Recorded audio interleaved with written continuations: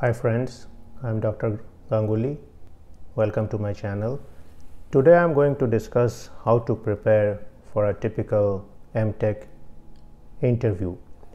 And very often you may have to go to some interview for admission to master's degree programs in many universities.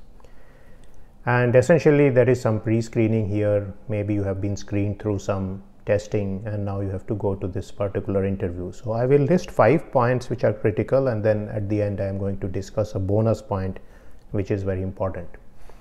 So let's start with the first point. So the number one issue is you should study the fundamentals. Now there are often a question as to what are the questions which are likely to be asked during the interview. So one thing to keep in mind is that most of the professors don't prepare for this interview. They don't carry with them a lot of book or lecture notes and so on. They come to these places essentially by themselves. Maybe some of them may have a page or something like that. So they are going to ask you very fundamental questions and essentially this is going to come from the first year and second year of your curriculum and sometimes in fact the best questions come from physics at the class 12 level. So essentially whatever you have studied in high school physics or intermediate physics, these aspects as related to your field are very important. So I would say one of the best strategies to go through the first few chapters of your key books or at least if you are able to have the time go through the entire books at this point. Also look at your physics book which you studied before you entered into college and go through the aspects of these physics books which are related to your discipline. So, for example, if you are in a mechanical type of field, you should know basic things such as what is pendulum motion, what is Hooke's law, what is simple harmonic motion, what is spring mass damper system, and so on, what is wave motion.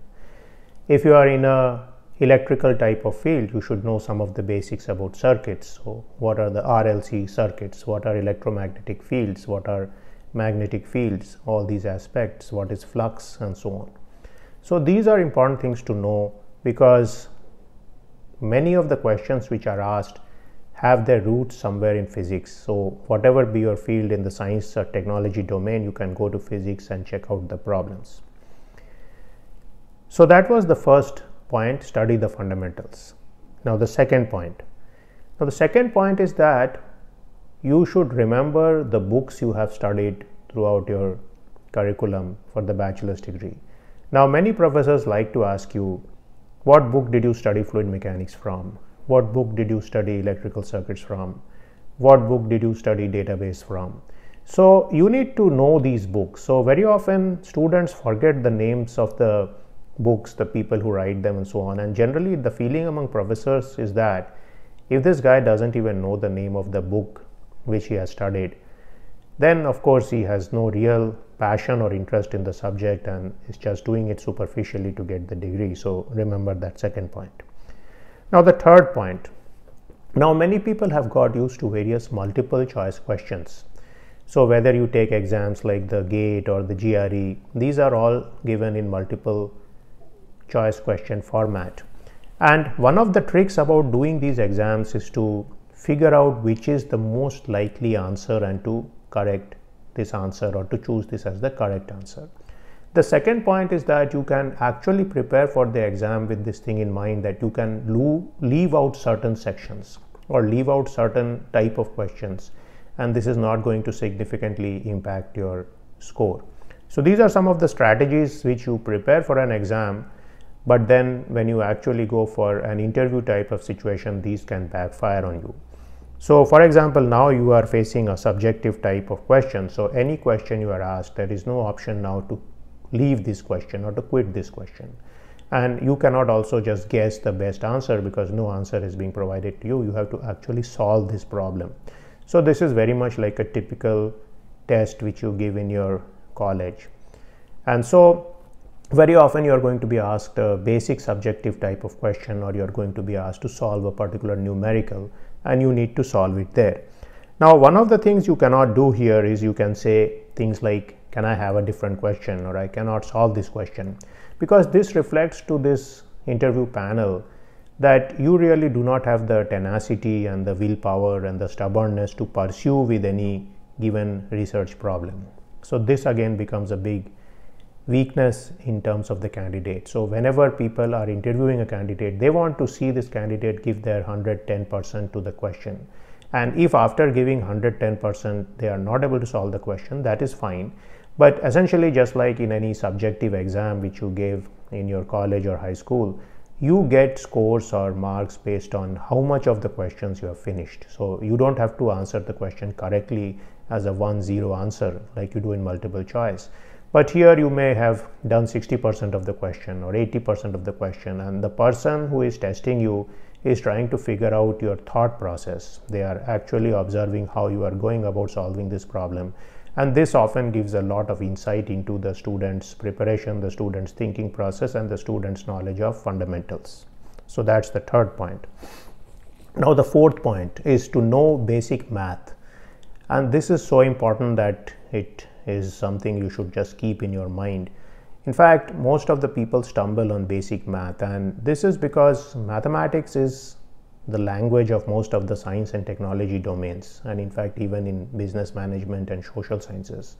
So, you need to know the basic math. Certainly, again, I would recommend to you know the high school math very well. So, if somebody gives you a very simple question related to the angles of the triangle, should they sum to 180 degree?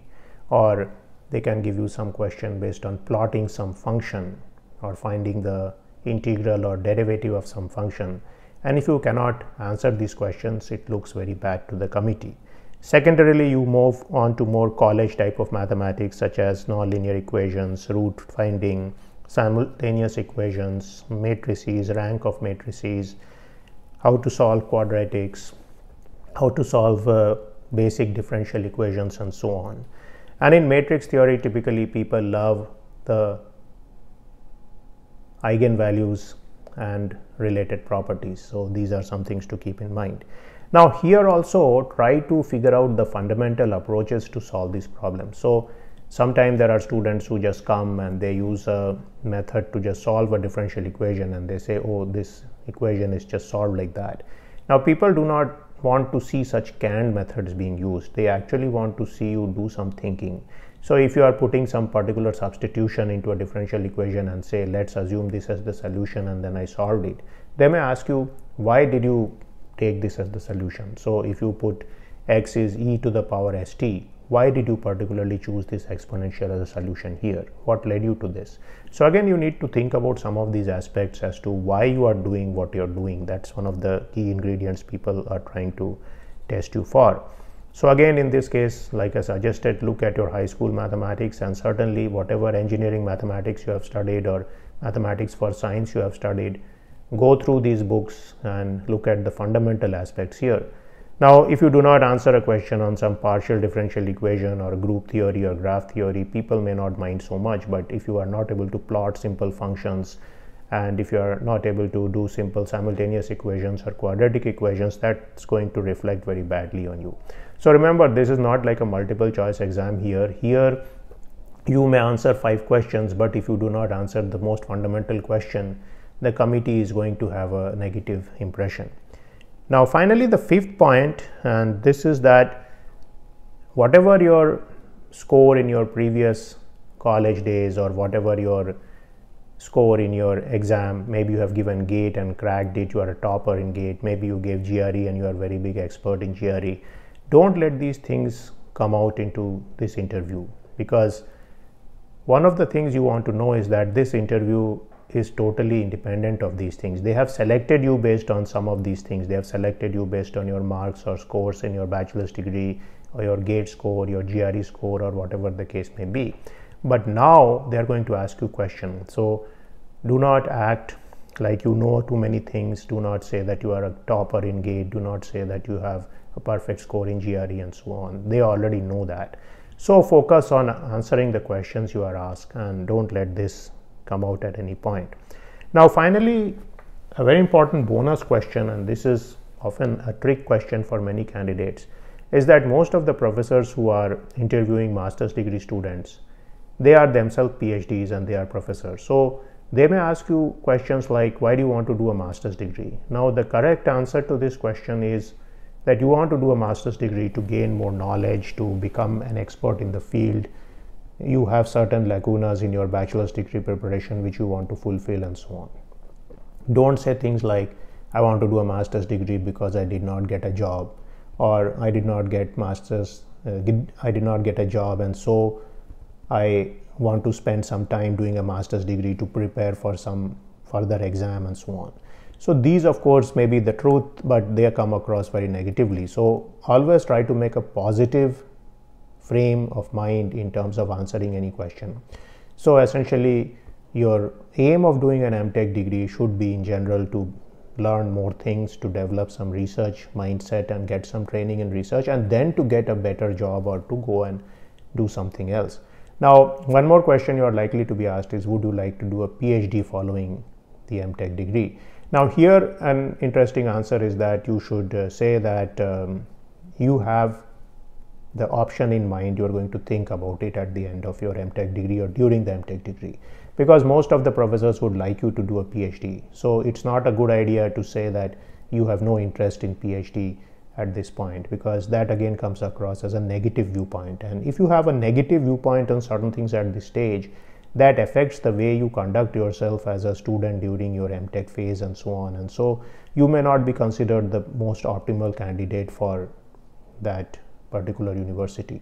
So again, keep the option clear. You are going to do the MTech degree to learn a lot of knowledge, to learn many new things, to learn new subjects from professors at this new university. And then if you get more interested in research, you are going to go ahead and do a PhD degree. That should be the way you start your graduate school. It may lead somewhere else, but that's the thing you should say, and that's the thing you should have in mind at this stage. So, these were some ideas I had for you regarding the master's degree interview process at many institutions which are focused on research and several of these are useful for PhD interviews also but I will make a separate video on that because their research aspects will become more important. So I hope you benefit from this video and I will see you soon in a new video. See you then.